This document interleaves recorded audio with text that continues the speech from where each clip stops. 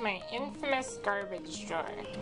The reason it's so infamous is I've had so much trouble. This is probably one of the easiest things that he should be able to do. And typically he does a really good job opening it. It's getting it closed that's the trouble. So we'll try it out. Roy, tug. You would not believe your eyes if 10 million fireflies lit That's it, there you go. world as I fell asleep. There you go. That's it, keep going. Go, go, go. Great.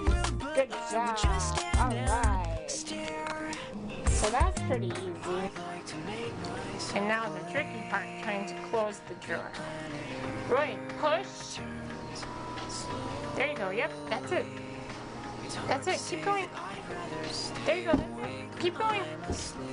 Go, go, go. Keep going. Come on, keep that's it. a thousand hugs Come on. 10,000 lightning. Go, go, go. There you go. teach That's it. how to Release. dance. Yay! Good job. Good boy.